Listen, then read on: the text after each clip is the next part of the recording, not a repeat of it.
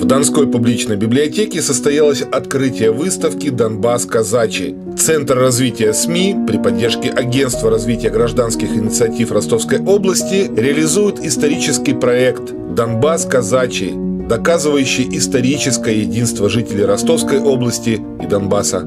Это историческая земля э, Всевеликого войска Донского. Это русская земля, на которой э, всегда жили, и э, я уверена, всегда будут жить русские традиции и русская культура.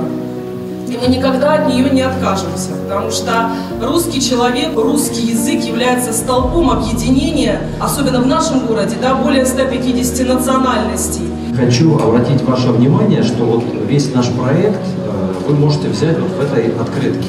То есть вы заберете с собой открытку, и благодаря новым современным технологиям вы сможете рассказать об этом проекте своим близким, своим знакомым, своим друзьям.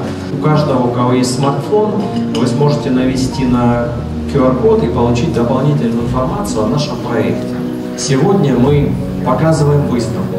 Ее автор Сергей Винявский. Здесь 50 лучших из его десятка тысяч кадров, которые он сделал на нашей земле. И мы постарались, чтобы на этой выставке, на этой фотовыставке были все, и стар, и млад, и вы сможете в этом убедиться.